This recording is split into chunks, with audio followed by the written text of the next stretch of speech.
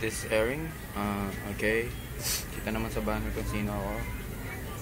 And this is kung saan ako pumunta kagabi. October 26. Um, ito lang naman yung mga tumugtog.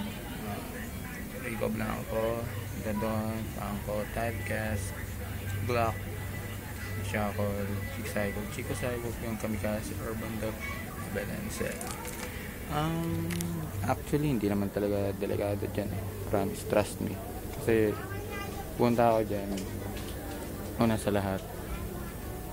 Una, dahil trip ko lang. Gusto ko maranasan. Pangalawa, birthday ko nun.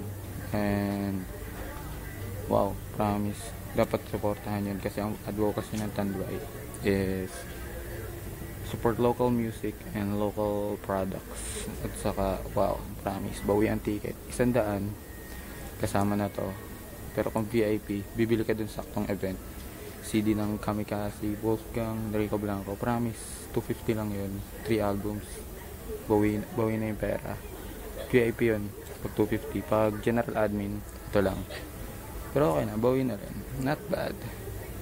Tsaka, masasabi ko sa tropa ko na taga Muntinlupa, Slamero Force.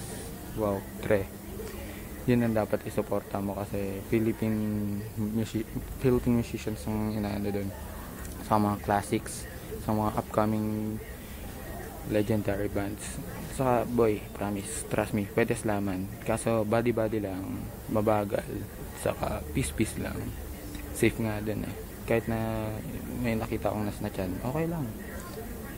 Saka boy promise pag general admin medyo kawawa. Kasi parang sa concert na yung ibang bansa kitna pero pag VIP ang lungkot sa VIP sabi ng tropa ko actually nagkahiwalay kami sila may VIP ticket ako wala.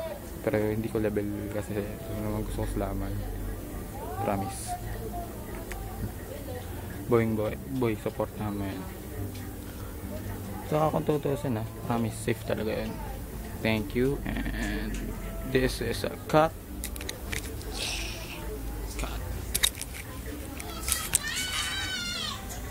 signing off.